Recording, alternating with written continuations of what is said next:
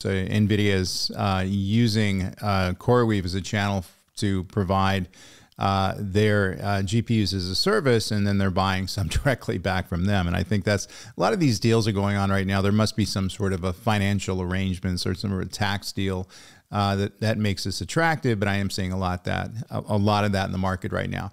So CoreWeave allows you to deploy new models very quickly. Again, they're purpose built just for AI. They're not built for large databases. They're not built for transaction processing systems. They're built directly for AI. And I think it's a value to do that. If they're focusing just on that specific workload, then they're able to optimize their offering to provide the best performance. Uh, for AI workloads and at the lowest possible cost. And I think we're going to come back to that as a core driver uh, for our, you know, a core reason to leverage CoreWeave over, over AWS for your AWS workloads.